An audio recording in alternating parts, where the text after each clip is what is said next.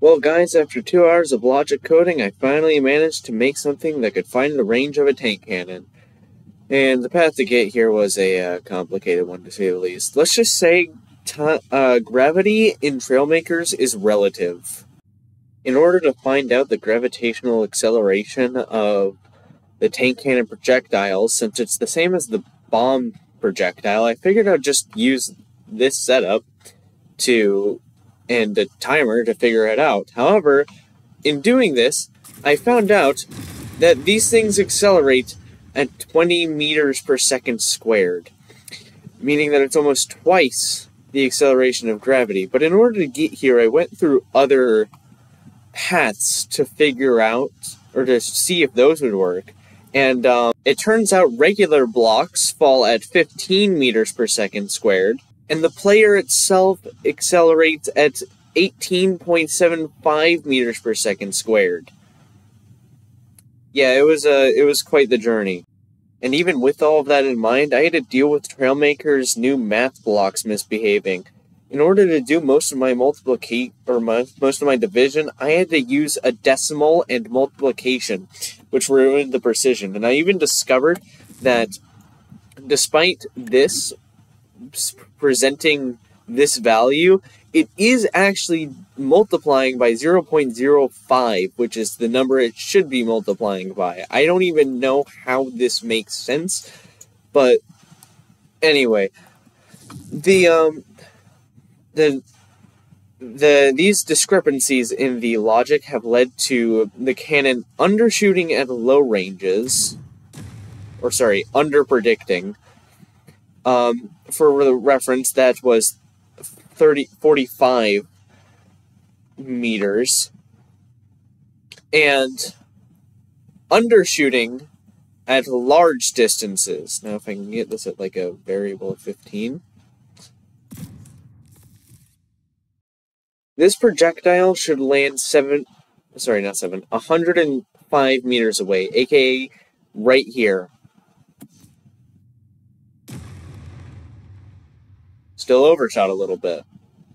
Not gonna lie, I thought it would undershoot. Is it accurate up to 225 meters? Dead on.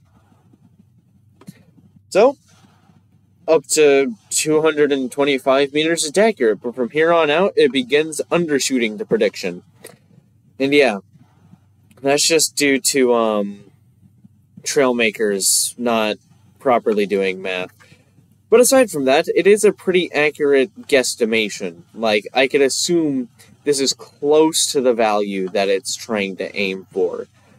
And if you don't believe me, the rangefinder predicts it should land here, 100, or sorry, not 100, 392 meters away.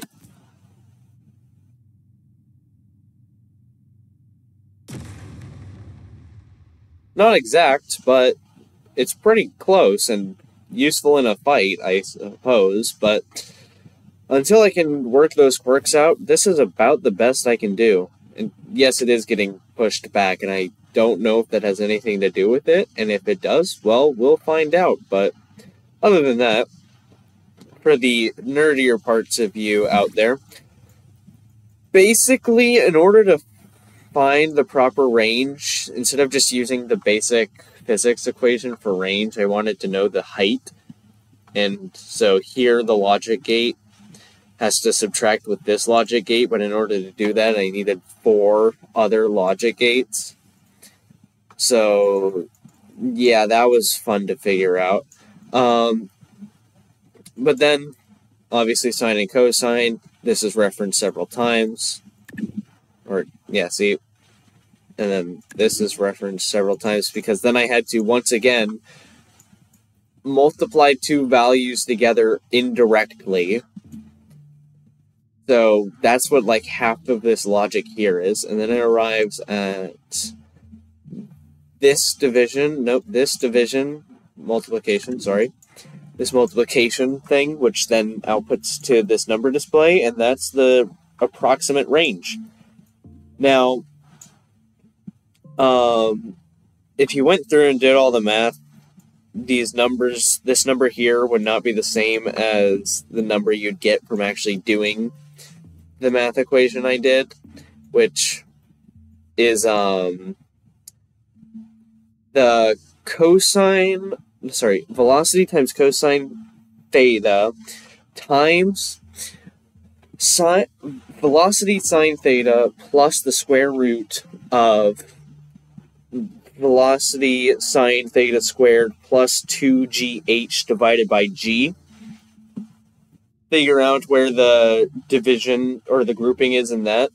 Um, and uh, turns out the uh, that's this is how much logic you need for that. Yeah. Also, there's this is an angle sensor there for anyone wondering. It has to be facing this direction, otherwise the other way it will uh, give a negative number. And so it does take up the full range and the measurement. So that's what I like about the new logic is that you can actually use the full measurement. And this is what you can use sine and cosine for. So anyway, I'll probably upload this eventually and someone can tweak it. Um, but other than that, that's about it. Thanks for watching. Bye.